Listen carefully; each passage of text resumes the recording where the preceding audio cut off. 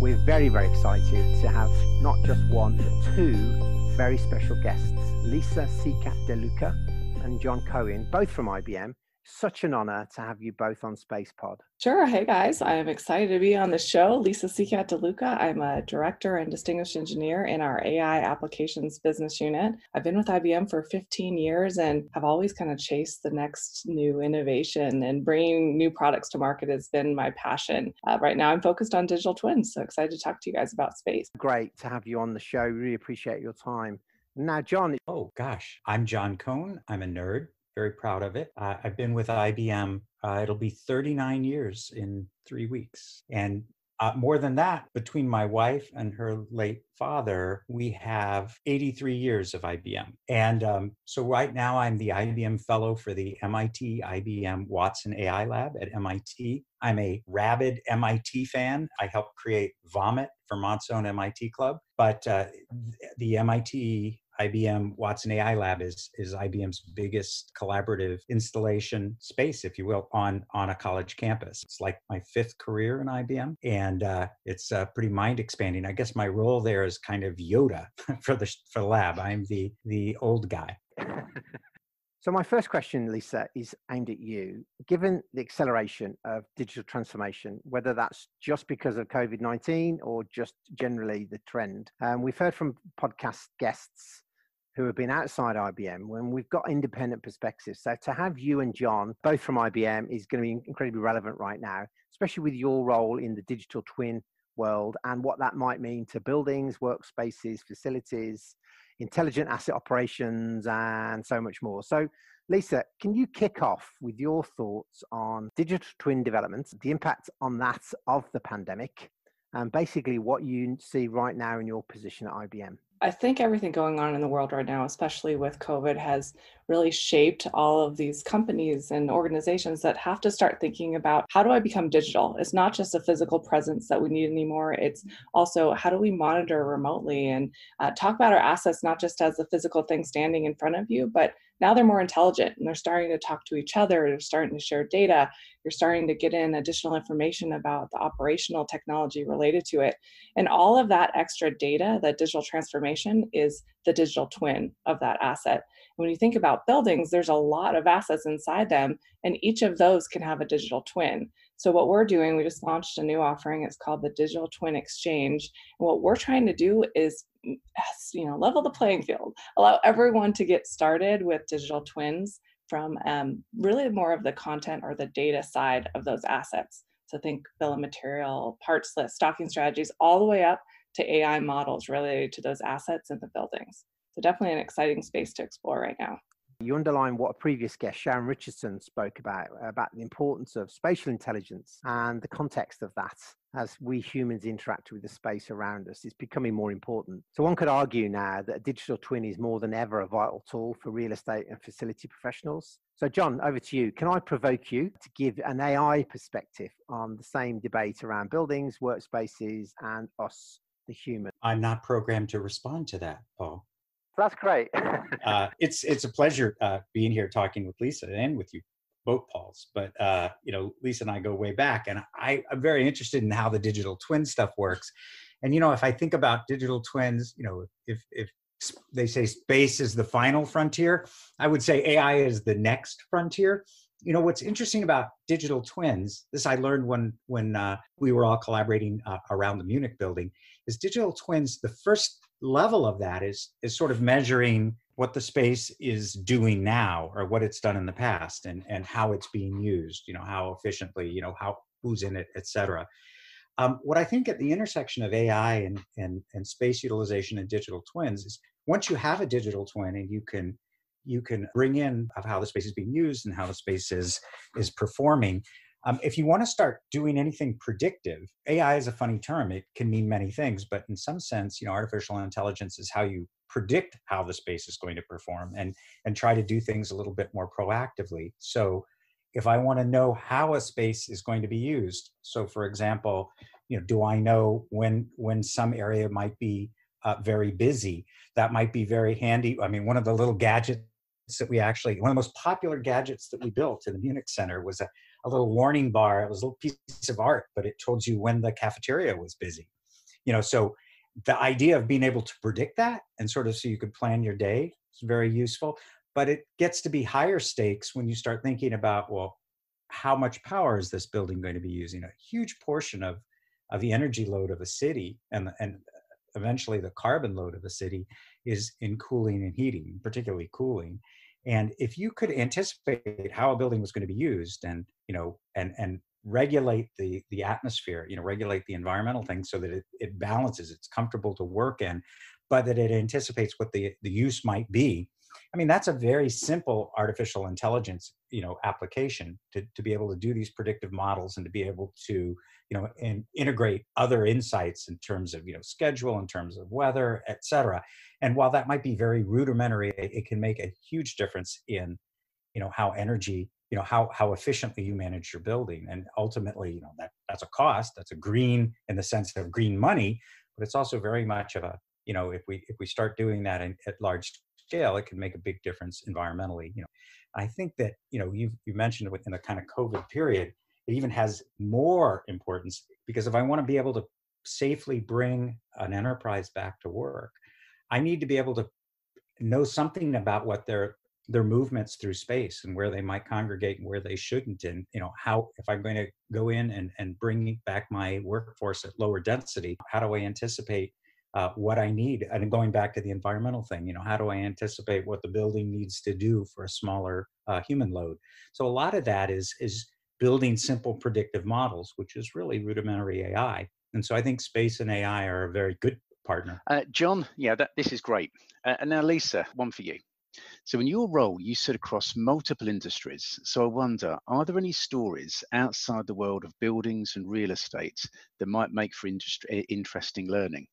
And also, how does this tie in with the digital twin exchange project you're currently leading for IBM? Sure. You know, we're we're just getting started with our digital twin exchange uh, that I mentioned, but we're targeting a lot of asset intense industries. So think oil and gas, energy and utilities, transportation, um, even our buildings and operations teams that are looking into how do we improve or know a little bit more about how people are moving about the venue, kind of like what John was saying, right? So with us, we say that you can't have AI without a digital twin for asset intense industries because the digital twin is that system of record. It's all of the data that you're feeding into an AI model to train it so that you can start doing the really cool things like prediction, um, like doing preventative maintenance, all that stuff that will come from the data itself and the insights from that data. Um, I think it's fun to hear about how people are saving in energy costs related to their building. So just understanding how the building is operating and then talking about COVID you know our watson works and baxa works how do you understand how people are interacting with each other and spacing out properly? Um, contact tracing is going to be huge right? And uh, when people are going back to the offices there's all new regulations on how they can interact with each other how often it has to be clean how often the restrooms and eating facilities have to be clean so a lot of that will need to manage just from the data itself that the building is talking and breathing right? It's alive and I think it's just really topical at the moment with uh, people returning to work. So we're certainly, I think some some of the uh, the uh, the stories that we've heard that organisations are looking for, you know, I guess a lot more reassurance around the environment they're bringing their staff back to than what they've ever had before. So it, it feels really topical at the moment.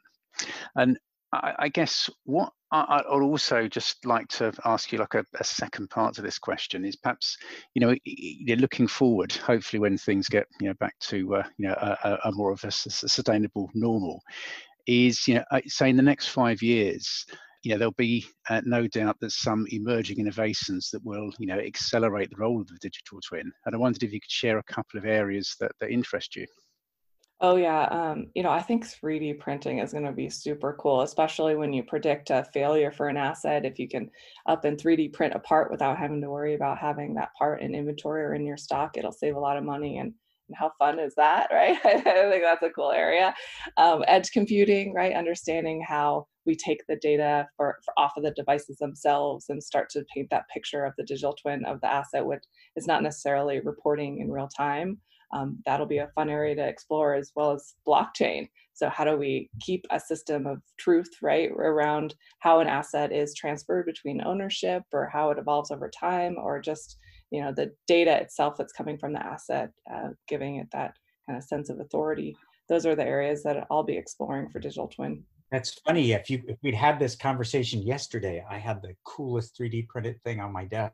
I'm doing a collaboration with my brother uh, yeah so i i have a bunch of 3d printers at a makerspace here and i love the technology i will say we have to be careful because we fall in love with technology it's really the application of the technology you know like uh, up until recently, a lot of the 3D printing I did was because I could, but it's really coming into its own as the technology kind of, you know, evolves and, and can print in more than, you know, just cheap plastic. And I've, I've, I've seen some stuff in buildings that's just amazing, you know, printing in concrete, printing in glass, and certainly printing in metal.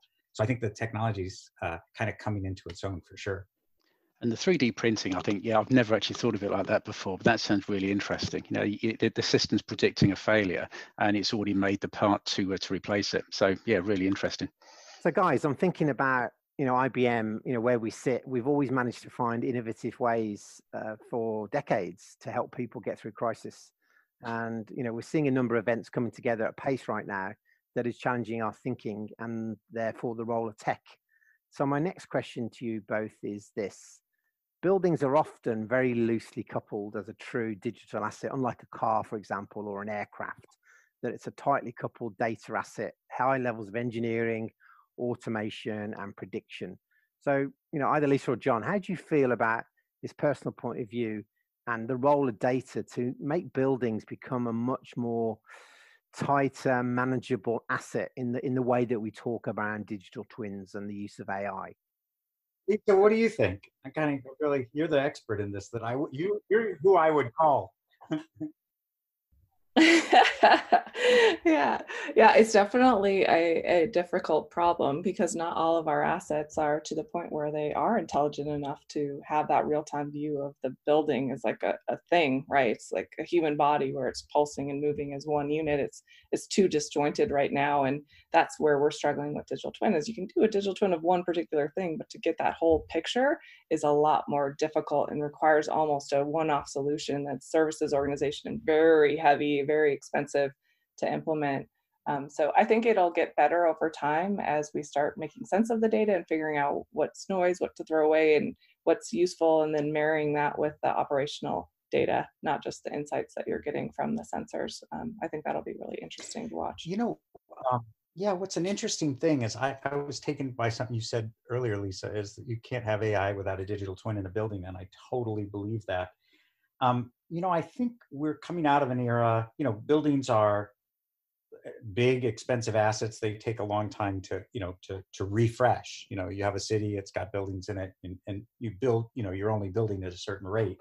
And i think we're kind of coming out well we're starting in an era where everything is a retrofit and trying to do a digital twin as a retrofit has lots of issues. I mean just mechanically trying to instrument you know put the iot in after the fact is you know like as we did in, in the munich building um, is tough you know it's expensive and and it's you know it's it's not as optimal. But i th- and, and and the roi might be more complicated you know in a, in a retrofit. There's certainly things that you can do but i think that as the digital twin idea becomes more pervasive you know people will be designing it in and i think that there are there are the, the roi becomes higher because you can um, i'm kind of interested uh, Lisa, what you think about this.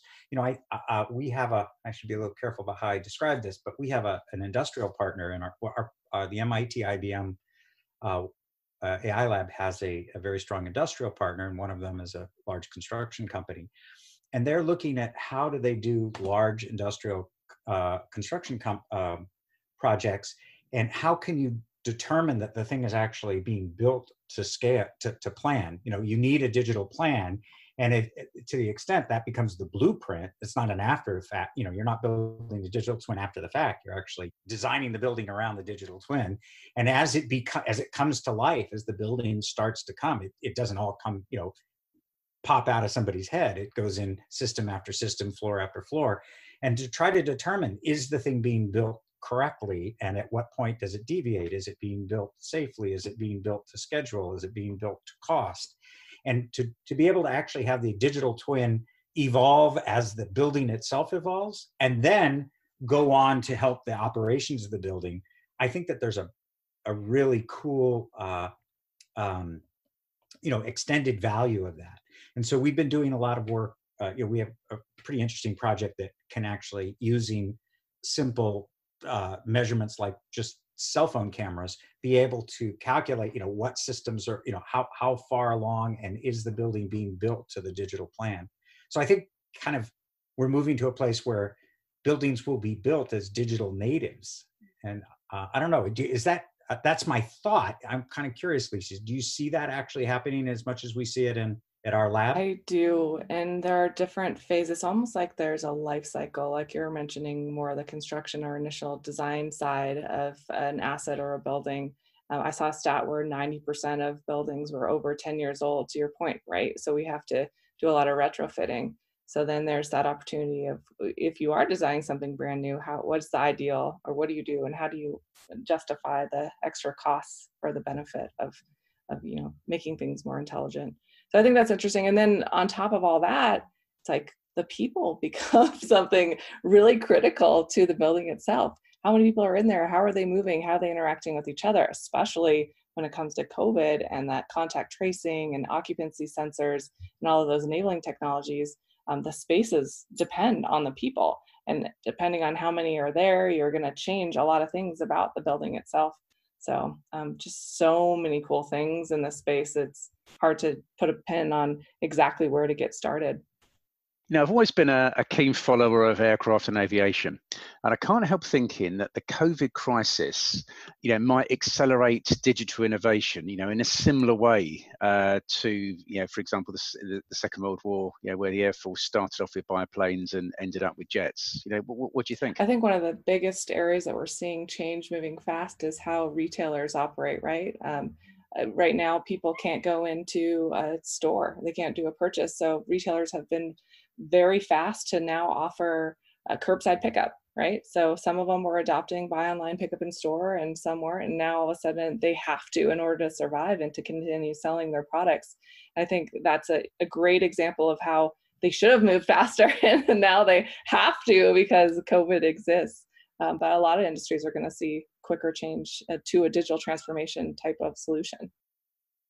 I, you know, what I think is really interesting is uh, just the the ability to change. You know, we often think uh, we can't change. You know, there's so much uh, intellectual weight and process and everything around big decisions, and then when you don't have a choice, you know, when you have this world pandemic, everything was open, and I think that it, you know, more than yes, it, it clearly is setting the economy back and kind of you know tamping down a lot of things i think it's opened some cracks that that we can adjust you know think about you know teleworking it's going to be a long time before people you know force people back into offices you know i think everybody's gotten comfortable in this or it's not just that kind of thing it's the rules are now everybody sees you know the rules are kind of a myth you know and and anything can change. And so I'm enough of an anarchist to say that, eh, eh, I certainly wouldn't wish this on the world, um, it just does show that you know progress can can happen when you don't have a choice. I know, you know, I'm a I'm a parent and I have four little kids and this has been so hard on working parents.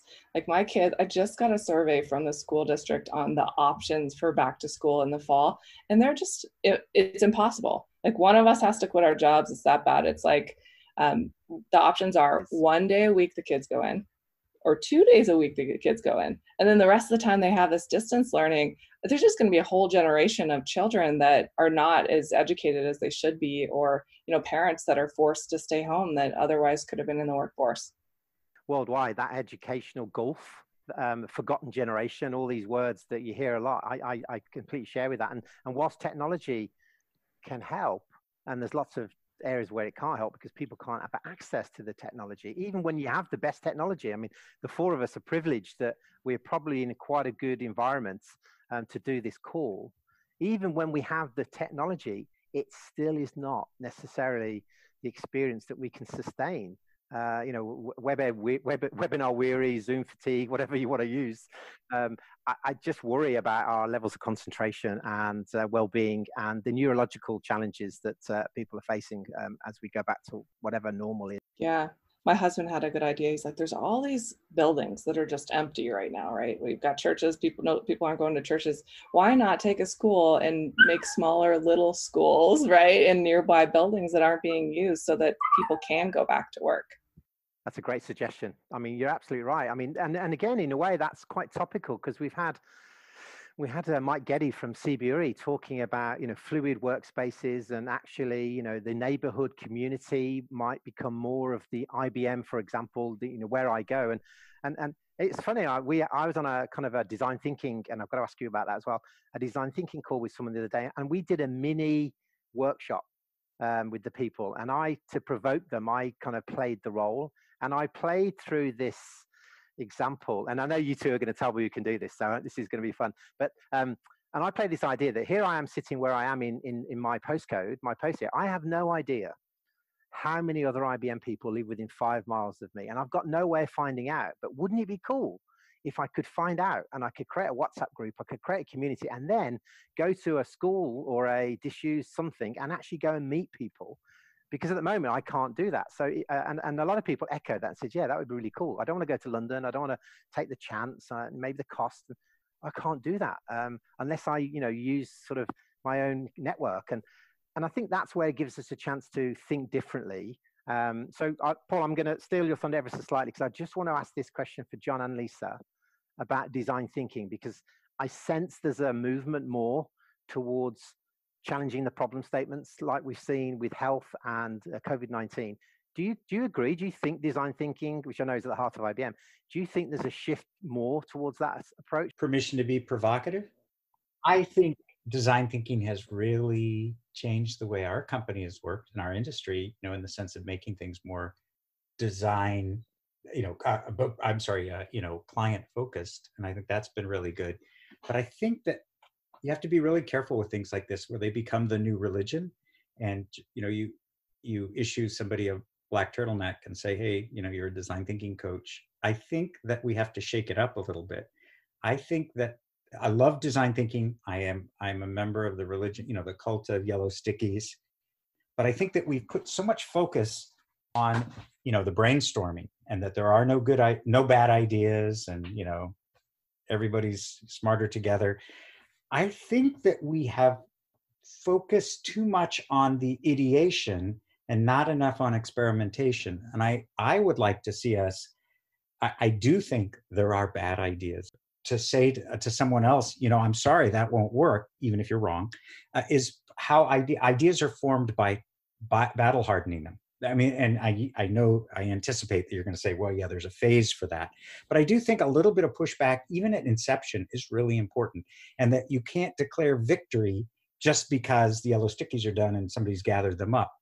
I would like to see us move to a culture of quick experimentation. And, you know, and I know that there's buzzwords for that, fail fast, et cetera, but it's actually getting your hands dirty and using that to try out ideas, even in simple experimentation.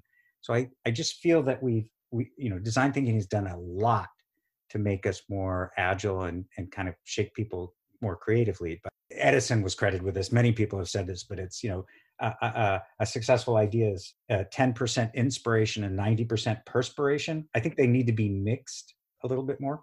I don't know. Is that provocative? Yeah you know I, I, agree that it should be iterative and it's not a one done with design thinking. It should continue to happen throughout the whole process of bringing a product to market I am um, actually I launched a inner business within IBM. It's called the Agile Accelerator, and that's exactly what we're trying to do: is to fail fast and experiment fast. We had a winner um, for this this latest competition that was announced in February, and we're already pivoting onto a new idea because we did a lot of market research and determined it's just not the right business decision, and it's all surrounded by innovation and thinking about how what's the best business decision for us as a company but um, design thinking is a huge part of it.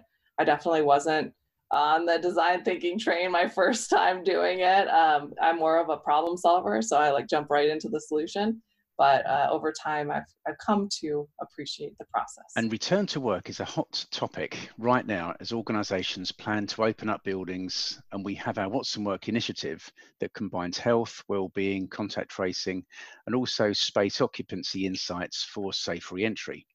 So against this background, I wonder if you had a view on the next five years, say, of innovation and where you see the big steps taken that might be interesting for our listeners?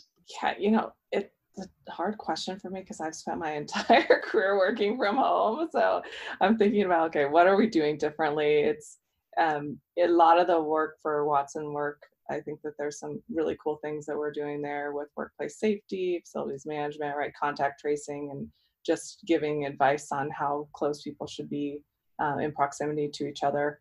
At my team specifically on digital twin isn't necessarily working in that space of bringing people back to work. One of the most exciting things I'm working on right now is contact tracing. We have collaboration with the MIT Lincoln Labs and MIT uh, with IBM Research, and we're working on a, a, contact tracing and working very closely with some of the, the uh, tools that Lisa mentioned earlier. So uh, Watson Works and Worker uh, Maximo Worker Insights on you know for various situations, particularly around enterprise. How do you bring people back to work safely, and how do you do contact tracing in a way that's completely privacy preserving? Because that's the you know the, the scary scenario that you know you don't want to take more information than you need. Uh, so the technology behind that is really fun. I mean, one of the projects we're doing now, which is kind of cool, is uh, so we're we're working on um, using Bluetooth like the rest of the world uh, you know, to, to try to figure out when people are within two meters for more than whatever it is, half 15 minutes, half hour, depending on the, the spec. And it turns out that that's not that, you know, there's a lot of false positives. So we're actually using some work from MIT uh, that uses ultrasonics to confirm. So it uses Bluetooth to sort of measure, and then it uses ultrasonics to try to weed out false positives. And uh, it's fun. You know, it's writing code, writing Android code, writing iOS code. Um, so I, I think it, and, and using a little bit of AI, certainly an IoT application. So it's it's it's it's really fun. Um, and I think that uh, you know this this pandemic has shown us one thing: is this probably isn't the last time we'll need this. So this is a, a, a good investment, and I can say very proud of the company that you know we we're working across you know research uh, lisa's group you know we're all coming together to, to try to solve this problem. as, as i was listening to you both i was i was thinking the question I, I, really wanted to also make sure i asked you and you've just given me the nudge there when you talked about contact tracing is the role of the smartphone. And i'll just say smartphone for now because it, i'm sure the footprint will change over five to ten years but but probably not. So the role of the smartphone in both digital twin and also you know giving the human being more control over their workspace. And and a lot of people are talking to me about autonomous workspace where people have choice to physically where they put their, their bottom for their day, but also maybe the times of the day or fitting with family patterns. And that's going to be really change a lot. Um, so the smartphone and all the connectivity that, that follows 5G and stuff like that, I'm not going to say the missing link because it clearly is a major role, but could mean more of the opportunity to get a digital or a twin of a person in, in a building. And, and maybe I'm rambling slightly, but the role of the smartphone, is that going to be something that we think will accelerate in the next five to 10 years to help us get through this space uh, challenge, which is really what we're, we're trying to talk about? Go look up uh, ibm.biz, B-I-Z slash Veremin, V-E-R-E-M-I-N. So it's a visual theremin. But go try that out. But that's using AI natively on a phone. So that's clearly going to happen. And I do think it's very exciting because you can put so much smarts there. And then from the phone, you can jump back to, you know, any amount of compute. Uh, and uh, especially as we start to get bandwidth, things like 5G will make that the, the, the distance between that compute and storage so much shorter electrically that um, you know you'll be able to do anything.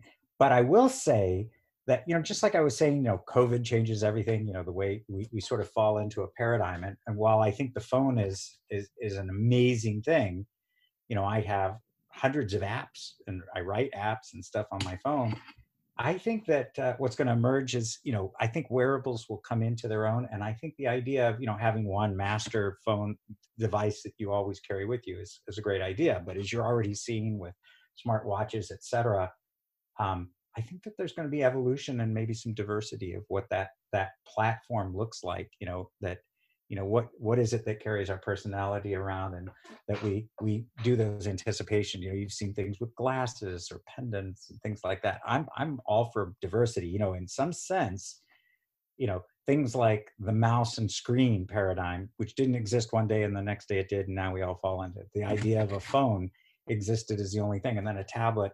I, sometimes think we're we're we're too quick to say, oh well, that's the final thing. I'm I'm I'm really excited about you know I think 5G in particular will allow you to put for lack of a better word, dumber things together that are, are electrically simpler and are easier on power.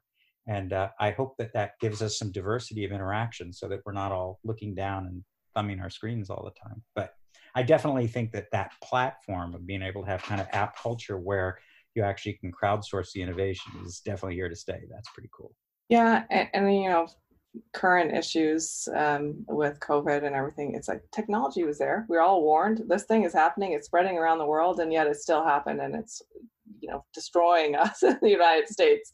So even with all this knowledge, it takes leadership and it takes people outside of the technology area to make change, and ultimately it comes back to us as humans and how we take technology and better the world. You know, one of the things that's funny about technology is as technologists, we always think, well, it's going to be great. And I think the interesting thing is sometimes there's unintended consequences of technology, technological choices. And, you know, I kind of think about, we've, we've kind of, Lisa, you were talking about privacy and GDPR and stuff. You know, we put all these IoT devices out there and you got to be careful that they don't leak too many secrets about us. You know, they don't, uh, in trying to help us harm us somehow. Or we start building supercomputers or super buildings and stuff like that that are really hard on the environment. I guess the question that I would dread you asking is, how do we make sure we don't destroy the earth in trying to help things? Um, and far be it from me to try to answer that, but just don't ask me that. No, just a real heartfelt thank you very much, John and Lisa. It's, this has been just uh, an incredible hour. Uh, so just really overwhelmed by by your presence, the pair of you. So no, thank you very much. Oh, it's fun, and thank you. At least it's so great to uh, to be on the same quote stage with you. You're you're I, he's the best inventor I know. wow, what a great time to reflect on what we've heard today on Spacepod. So let me say a big thank you to my IBM colleague Paul Gatland, and let me finish by wishing anyone who's been listening to us today a very safe day wherever you are.